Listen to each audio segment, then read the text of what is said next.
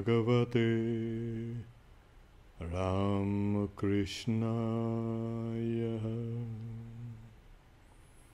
Om salutations to Bhagavan Ram Krishna.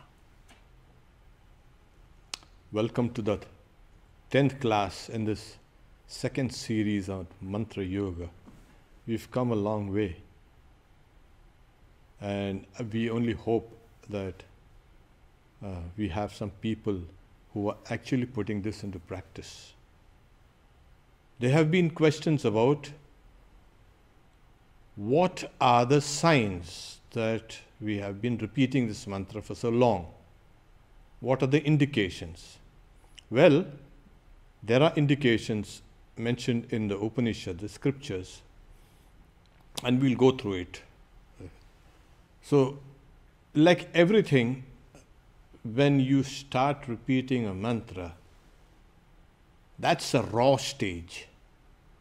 And then slowly, slowly it becomes ripe, it becomes mature. The mantra may be mature and maybe an ancient, very ancient mantra.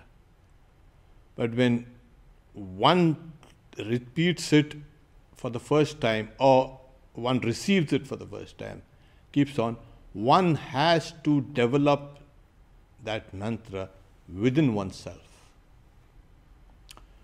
So, what happens?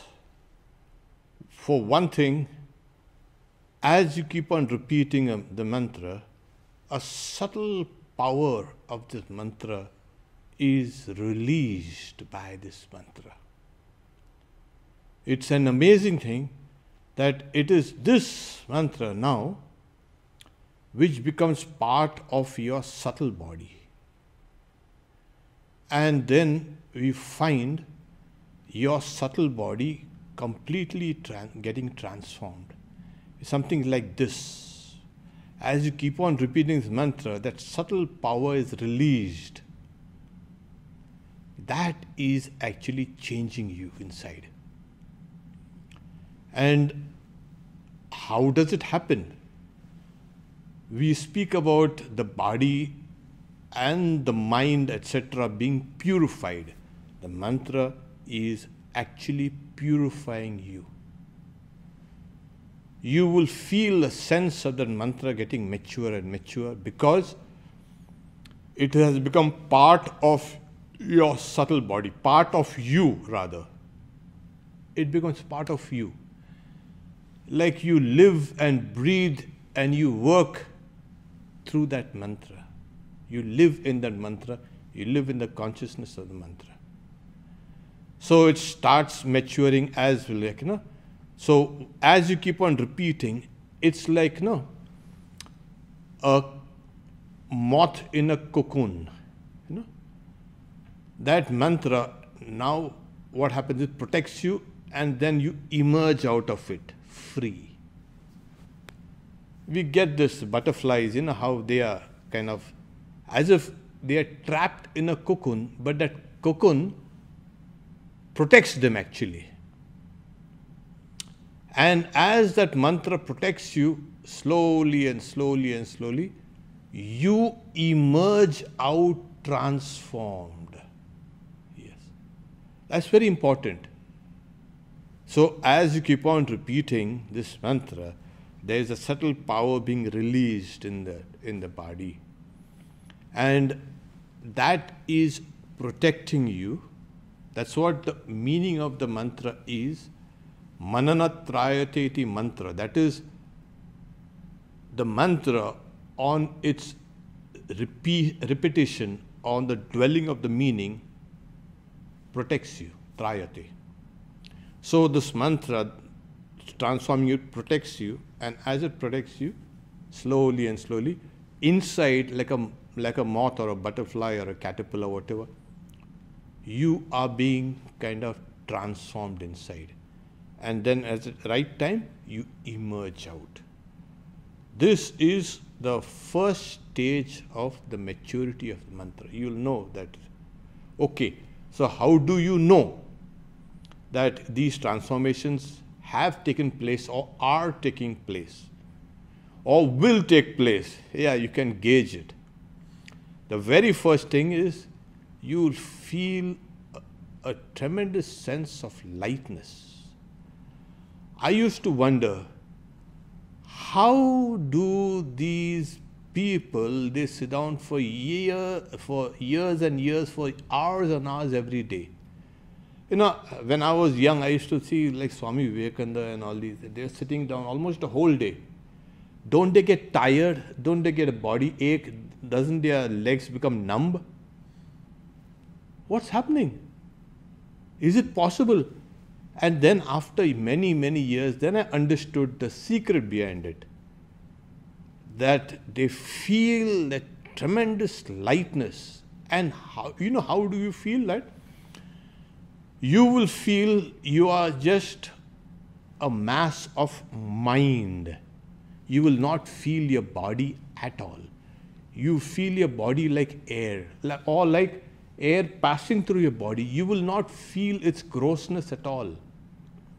At times you will feel so light, you might even look down and see if I'm actually walking on the ground or I'm floating on air. When you have this, you can sit on for hours and hours without feeling sleepy, without any back pain or leg pain or numbness or nothing. That lightness will come in.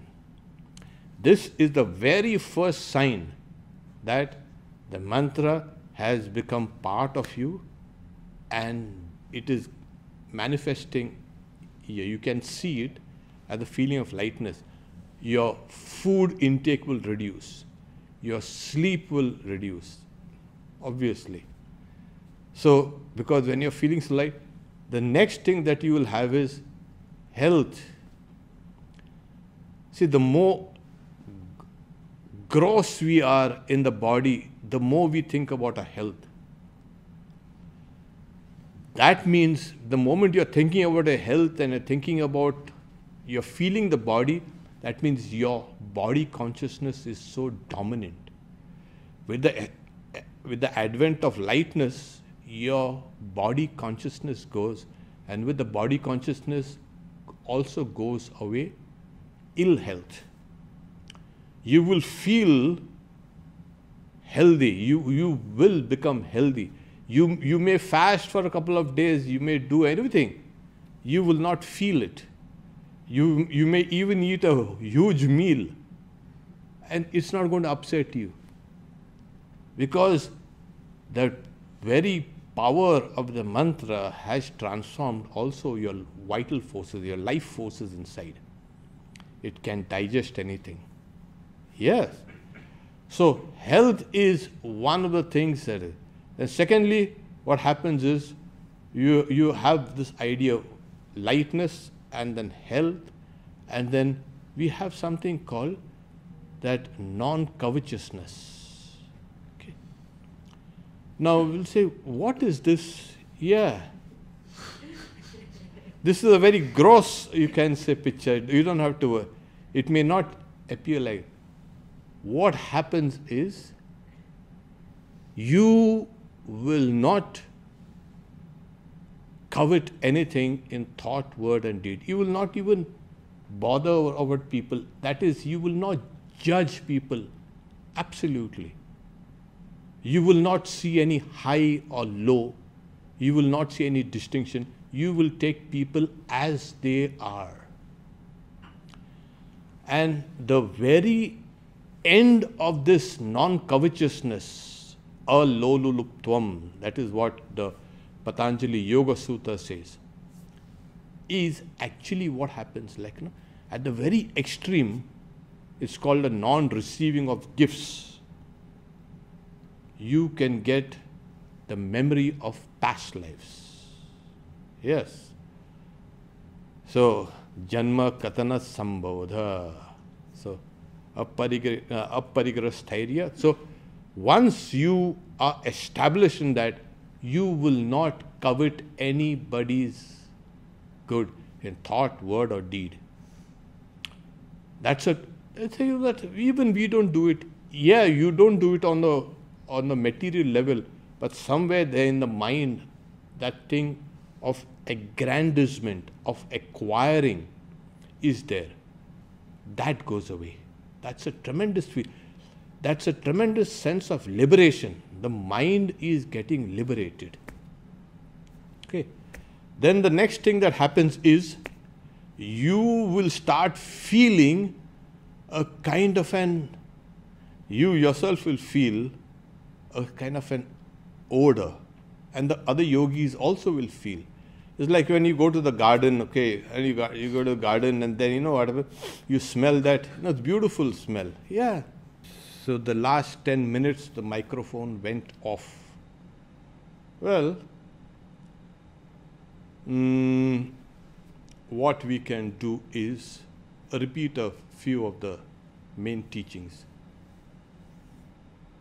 First thing is there's a tremendous lightness that comes in the body. Okay? And that is because of the release of the, the powers of the mind, of the mantra. The mind has powers and the mantra has powers, and both combine to give us this kind of feeling of lightness. The second, as we have seen, is the idea that as it's maturing inside, we are finding a kind of a transformation that's going on. And this transformation takes place in there is no sense of greed. There is no sense of kind of covetousness. Your health becomes good. There's a kind of a steadiness in your gait, in your walk. Everything becomes in you steady. And this steadiness is actually what brings stability in your life. That lightness will make you feel that there is a vaster idea of yourself. See, when your gross body is kind of uh, kind of clamped down on your subtle body, you feel kind of limited. But with the removal of your gross body, the idea of a gross body, when you become so light, you will feel this your subtle body, your idea of existence expanding. And as your idea of existence expanding, you can bring in many things and many people. You will start loving other people.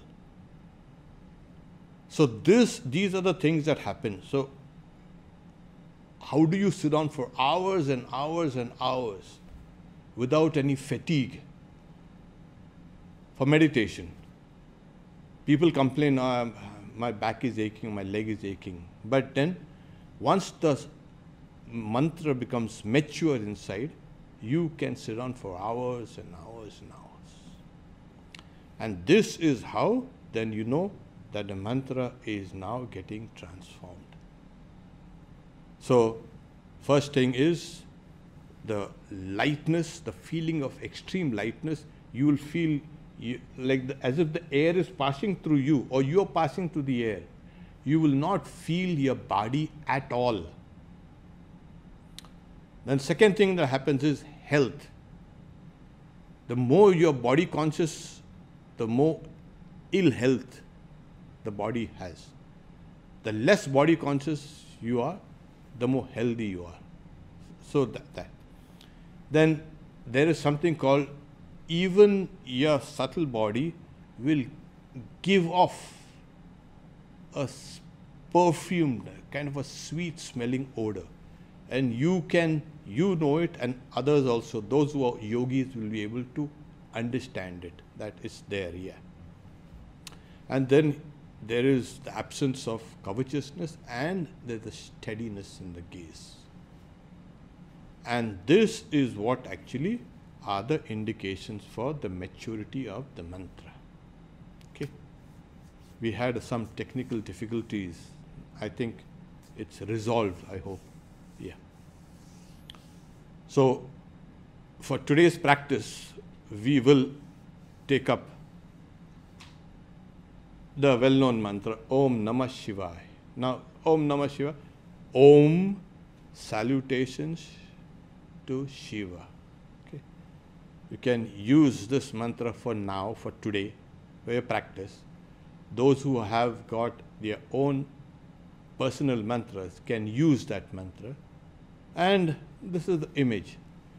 So for a practice, we will do is sit down straight, please.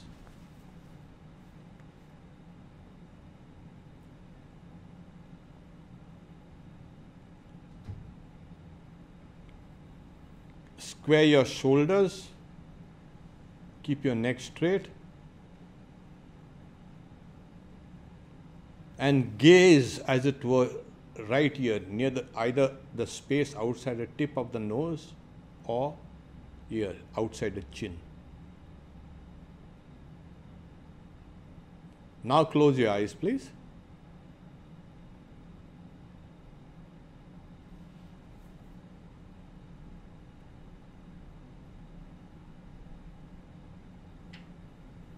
Keep a half smile on your face.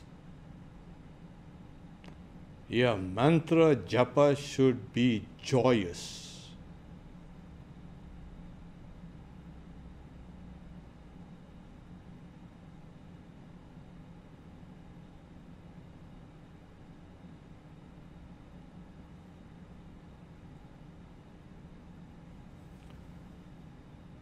Though your gaze, as it were, is fixed on the point or the space outside your nose or your chin, your eyeballs are still. Try to look now inside. Don't let your eyeballs shift from there, from this position, but as it were, you're looking inside. The inside of your body is as it were hollow but full of light.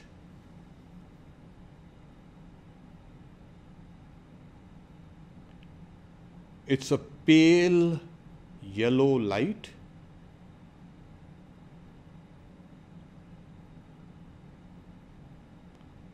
This light extends the hands and feet to the very fingers and toes.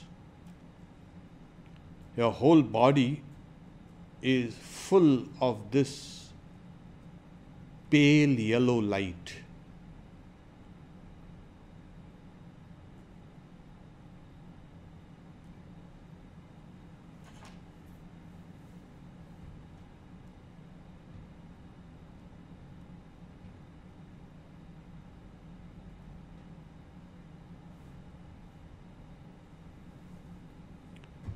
Now repeat Om Namah Shivaya while visualizing that form of Shiva.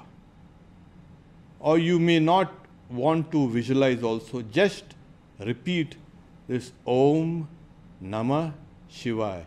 Look inside you, inside the body. It's hollow but it's full of light. Om Namah Shivaya. Om Namah Shivaya.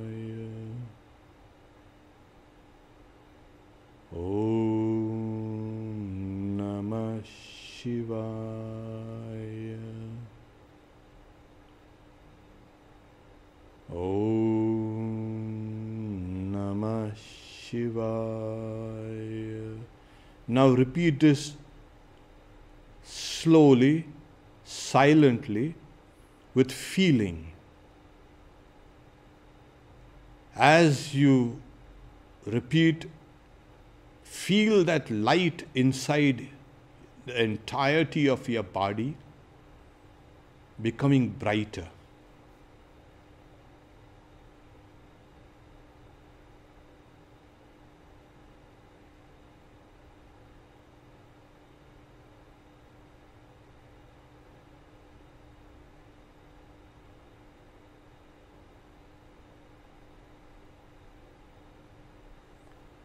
Keep repeating the mantra slowly, silently, with feeling, and feel that light inside growing stronger.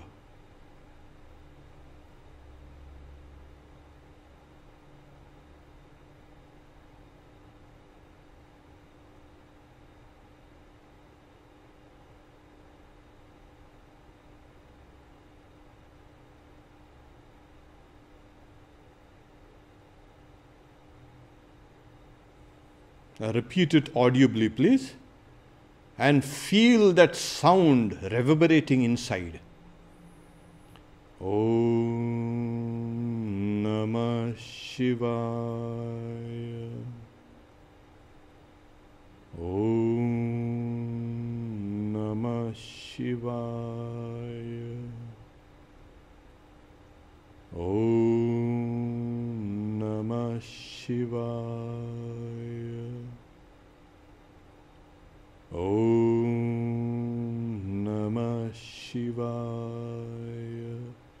Repeat it silently and feel that light inside vibrating with this sound also.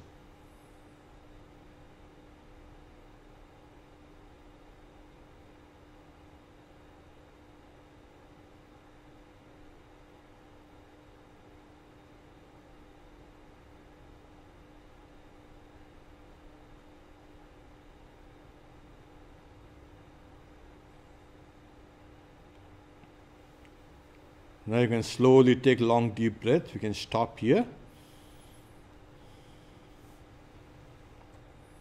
Om Namah Shivaya. You get the idea.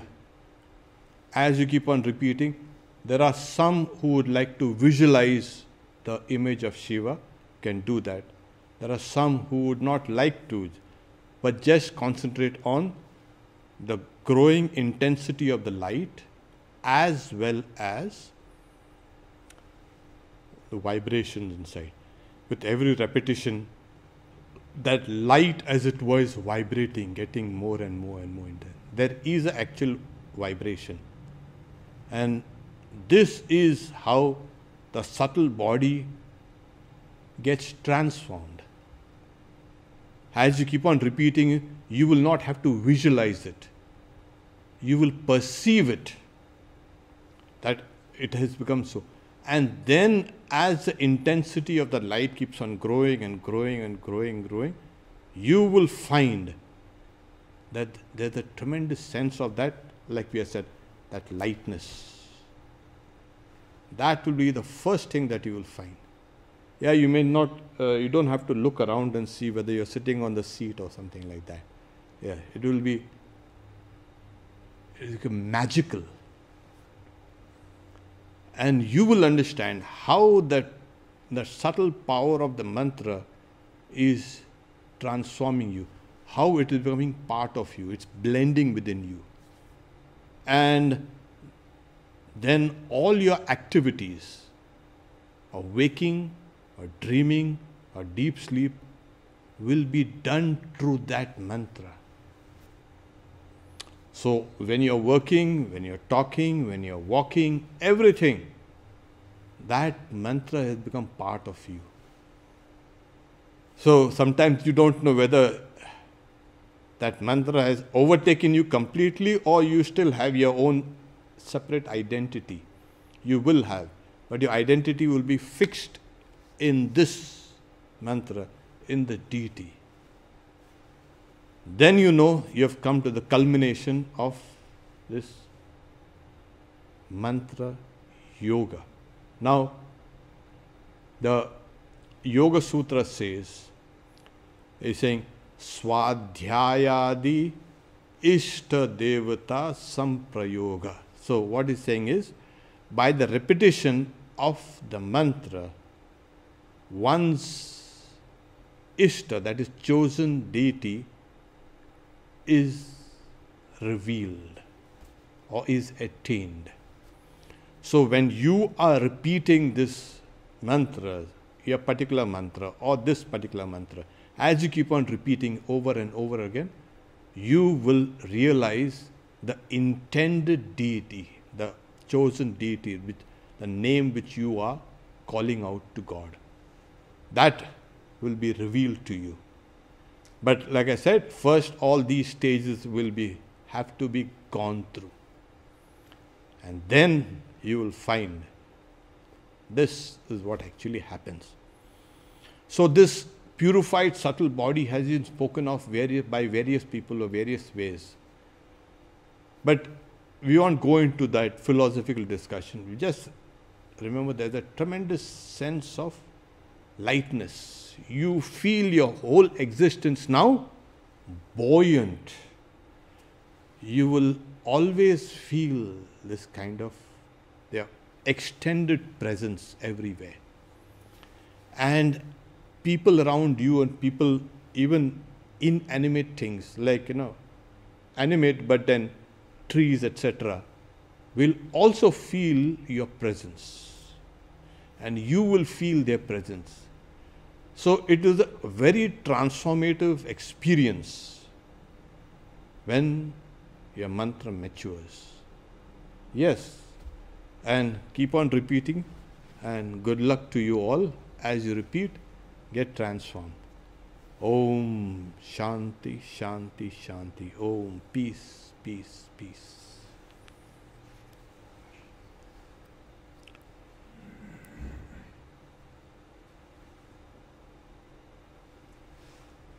Yeah, we had some difficulties with. Uh, okay. Uh, Shunyal is the first question.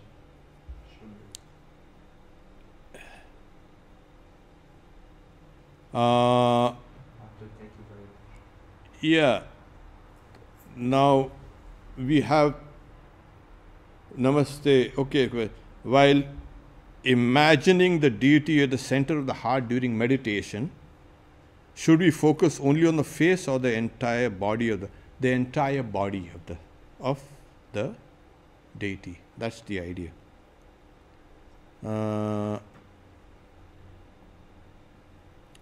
okay, um, we are sorry that uh, we lost the sound, but then uh, I think now we can can get back to it. Can anybody get mantra initiation, or do you have to follow, observe some? Uh, anybody can get, but you must be prepared for that. What What do you mean by prepared for that? You must be prepared for that commitment that you are going to repeat it n number of times every day. So that is the commitment, and then once you start taking it, then you can understand. Yes, there's a transformation going. Oh, okay, there's no sound, there's no please. Yeah, that was time. Okay, uh, I hope that the next recording will tell everything that he planned to say in this. Okay.